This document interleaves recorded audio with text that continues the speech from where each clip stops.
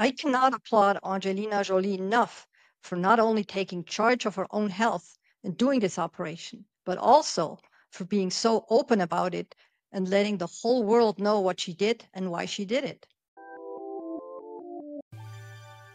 Hello, welcome back to Gyno Info.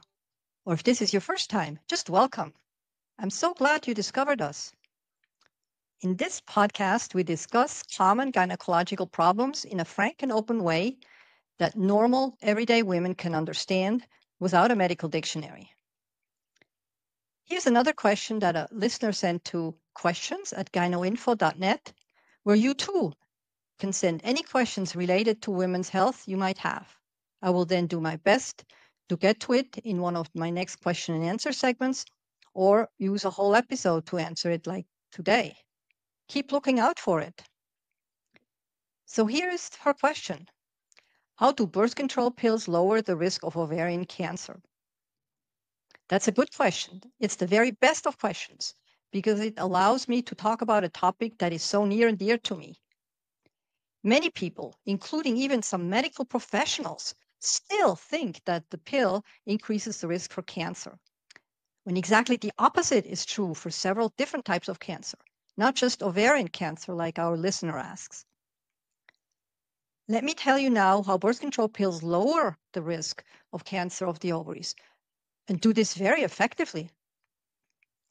Basically, anything that keeps you from ovulating, growing an egg in your ovaries every month, lowers your risk of developing cancer in the ovaries every time you ovulate, produce an egg inside a cyst that grows inside one of your ovaries. When that egg is ready, the cyst pops open and the egg jumps out, and that is called ovulation. Now, when that cyst pops during ovulation, that causes a little injury to the ovary. There will even be some bleeding sometimes that some women feel, others not. It's called ovulation pain, so called Mittelschmerz in doctor speech. Why doctors would use a German word for that is not clear, but it is what it is. So anytime an injury occurs, in this case, it's an injury to the ovary from ovulation, the body has to repair it, heal it. Every time the body has to fix something, there is a chance of a mistake, of a screw up. That mistake is called a mutation. Mutations happen all the time. Specialized immune cells in the body act as guards against such mutations. They detect the mutant cells and then eliminate them. That is a good thing because mutations are a defective or out of control cell that can turn into cancer. Cancer cells are basically cells that no longer obey the rules of the body. They start growing unchecked and invade the spaces reserved for other cells and tissues and organs. They're uncontrolled invaders that do not respect the borders of other tissues. That's why we talk about invasive cancer. Now, when such a mutated cell escapes undetected by the immune system, it can start growing into a cancer, and in this case, it will be a cancer of the ovaries. So, to say it short and clear, when there is no ovulation, there is no injury to the ovary, and there is no need to fix anything, and there is no chance to make a mistake and mutate, and so there's no ovarian cancer. That is why anything that keeps you from ovulating lowers your risk of developing cancer in the ovaries. That can be birth control pills that work, after all, by stopping ovulation. And this is the question that I'm answering. But it can also be pregnancies. You don't make eggs and ovulate when you're carrying a baby. The womb is already occupied or it can be cause of breastfeeding, though that's a little bit trickier. It only works as long as you feed your baby nothing else but breast milk, not adding any formula at all. And you have to nurse your baby at least every four hours during the day and at least every six hours at night. You also need to actually nurse your baby. Pumping and giving the milk to your baby in a bottle will not trick your body into not ovulating. And as most babies will start eating some solids after about six months, breastfeeding will not stop ovulation much past six months. This is also why nursing is not a reliable birth control method once the baby starts eating or drinking anything other than breast milk and stops nursing frequently enough to suppress ovulation. Now, the longer you take the pill, or the more children you have, especially if you nurse them each for as long as possible, the lower your risk of ovarian cancer will be. This is a birth control benefit that lasts for at least 30 years and probably the rest of your life. Unlike some other pill benefits, like less acne and better skin, less bleeding, milder cramps, bleeding regularly every 28 days, and also being able to move your periods for vacation and important events, and suppressing endometriosis and adenomyosis, lining of the uterus growing inside the wall of the uterus or outside the uterus, causing painful bleeding and scarring. We'll soon do an episode on endometriosis. All these extra pill benefits will all disappear as soon as you stop taking the pill. But if you have taken the pill for about 10 years and then never again, you still have less than half the risk of cancer of the ovary more than 30 years later than your neighbor who never took the pill at all. Unless, of course, she had at least five kids and nursed each of them for a year. Taking the pill is definitely a lot easier. Taking birth control pills for about a decade also lowers your risk of cancer of the lining of the uterus, called endometrial cancer, by about a third. And it lowers colon cancer, cancer of the large bowel by about one fifth. And very important, and that's really exciting, this cancer protection effect by the birth control pill also holds true for women who have a genetic mutation that increases their risk for both ovarian and breast cancer, and even for some others. Those are the so called BRCA1 and BRCA2 mutations that are passed on from parents to children and you can get it from your father or from your mother. By the way, that's the kind of genetic issue that Angelina Jolie had. Women with these kind of mutations, BRCA1 or 2, should take birth control pills until they're ready to get pregnant. While they're on the pill, they have a lower risk of developing cancer of the ovaries. After they are finished with their family planning and have all the children they want, or by about 40 at the very latest, they should seriously consider removing their ovaries and their tubes. That's because the very worst type of so called ovarian cancer actually started in the tubes. That is why we now always remove the tubes every time we take out the uterus. Removing the uterus is called hysterectomy in doctor speech, and it means only the uterus is removed and not the ovaries. In a woman who does not have a BRCA mutation, the ovaries do not have to be taken out before menopause. This was actually the usual move in the past whenever a woman had a hysterectomy, no matter how young she was. But the ovaries can continue to work and make important hormones for many years until menopause, even after the uterus is taken out. For that reason, the ovaries should not automatically be removed unless you have one of those mutations. Please remember to discuss this with your doctor if ever you are going to have to have a hysterectomy. But the tubes should be taken out every time according to all up to date guidelines. Removing the ovaries in a woman with a BRCA mutation will cut her ovarian cancer risk by as much as 80%, depending on whether she has a BRCA1 or a BRCA2 mutation.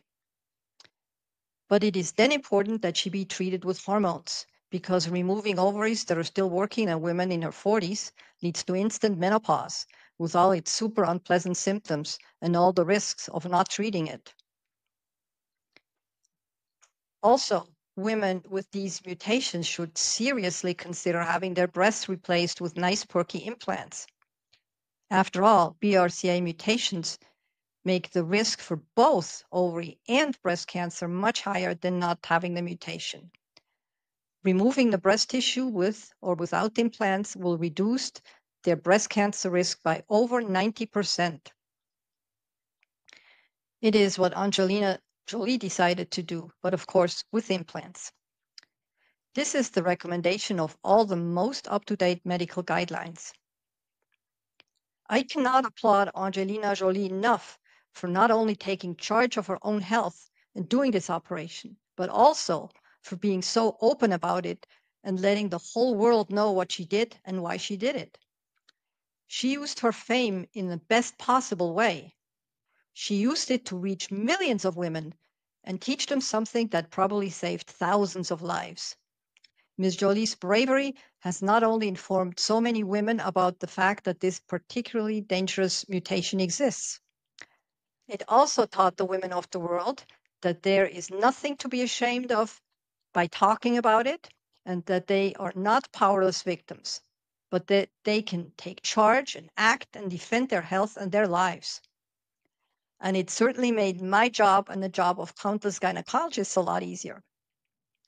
It used to take a lot of time to convince women with several breast and ovarian and other cancers in their family history to even consider genetic testing for the two BRCA mutations and also some other mutations that can be done nowadays. Let alone begin to talk with them about having their breasts or ovaries removed when their test results showed that they indeed had the mutations. Now, all I have to do is mention the name Angelina Jolie and they are ready to start talking and asking questions. And of course, this discussion still has to take a lot of time. It is not a decision anybody wants or should be making lightly. It is never an emergency, and one can take all the time needed to think of everything through carefully. But thanks to Angelina Jolie, it's now so much easier to get started with this all important conversation.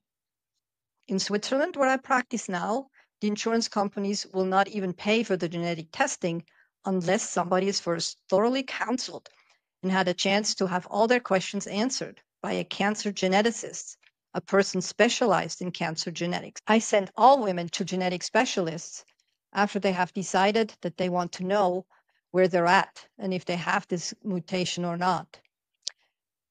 And not all women end up wanting to be tested and know if they are at the high risk. That is perfectly okay, though not what I would choose.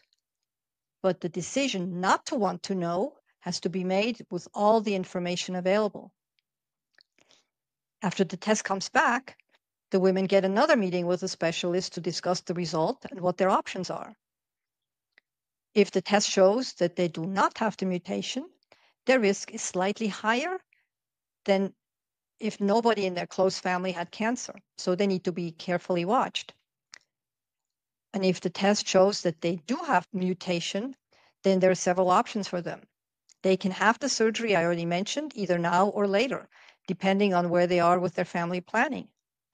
They might even decide to speed up having kids so they can go ahead then with the surgery earlier.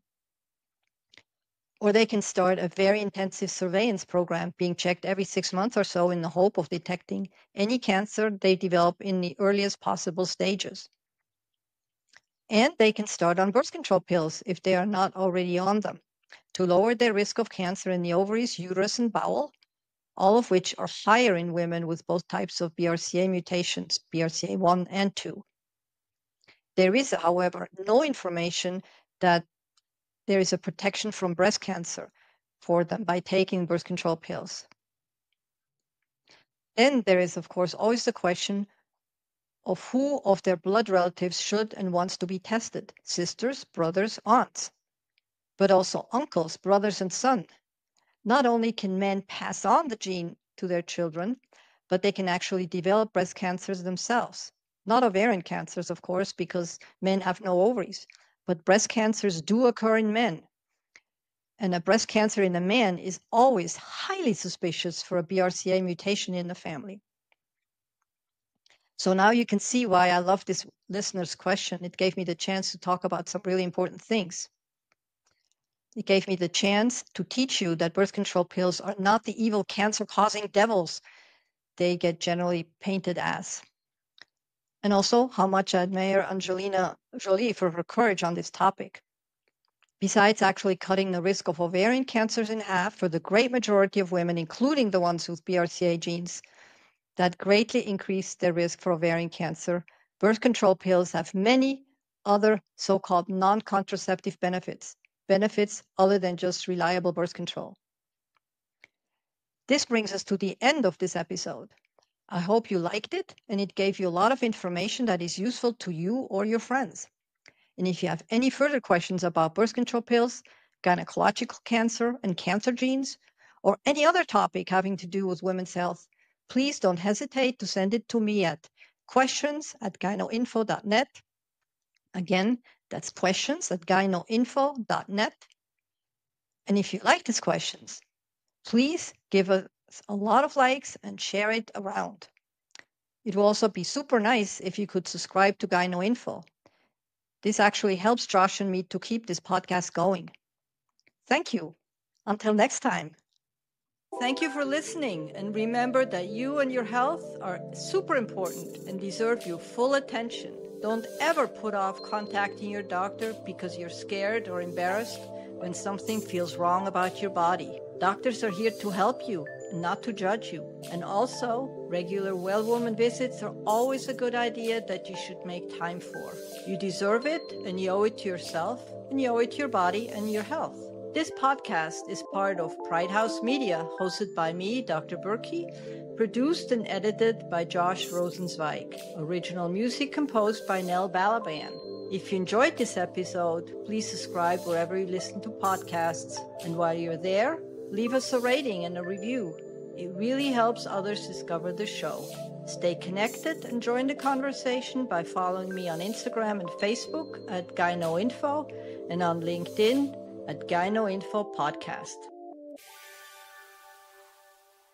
Remember, any questions that I answer or information that I give you on this podcast are to be understood as information only, not treatment of your medical problems. While I'm a very knowledgeable gynecologist, I'm not your gynecologist who has talked to you and examined you personally and is therefore actually able to treat you. So please consult your own healthcare professional with any medical questions or concerns.